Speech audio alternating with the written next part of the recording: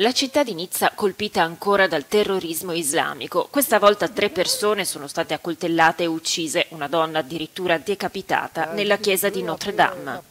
Ho sentito degli spari, poi ho capito che erano successe cose orribili là dentro. L'attentatore, un tunisino di 21 anni, fermato dalla polizia, ha rivendicato l'attacco. Sbarcato da Lampedusa appena qualche settimana fa, era arrivato da clandestino in Francia. Piantonato in ospedale dopo essere stato ferito a una spalla dagli agenti, dichiara di aver agito da solo. L'antiterrorismo indaga sull'episodio che segue di appena due settimane il barbaro omicidio di Samuel Paty, professore decapitato a Parigi da un estremista ceceno. Il Presidente della Repubblica annuncia che da oggi 7.000 militari presidieranno le strade del paese. In Francia non c'è che una comunità ed è quella nazionale. Voglio dire a tutti i cittadini che dobbiamo essere uniti, non importa quale sia il loro credo o se abbiano una fede. Dobbiamo stare vicini senza lasciare che le divisioni abbiano la meglio.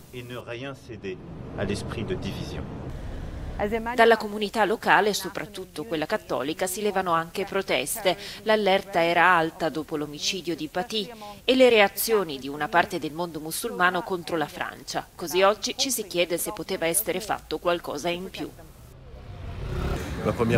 La prima reazione è stata di rabbia perché quando ci si aspetta una tragedia è meglio agire per evitarla invece di aspettare e discuterne a cose fatte.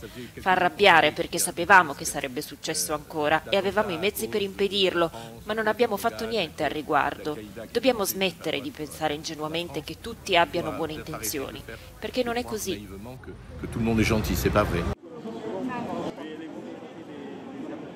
Per la Francia, da oggi chiusa per l'epidemia, gli attacchi delle ultime ore sono un'emergenza nell'emergenza. Negli stessi momenti l'allarme è scattato anche ad Avignone, dove un uomo con un'arma, probabilmente uno squilibrato, è stato ucciso. A Lione è fermato un uomo con un coltello e a Jeddah, in Arabia Saudita, una guardia del consolato francese è stata attaccata e ferita. Per il paese è un momento buio, come non se ne vedevano da tempo.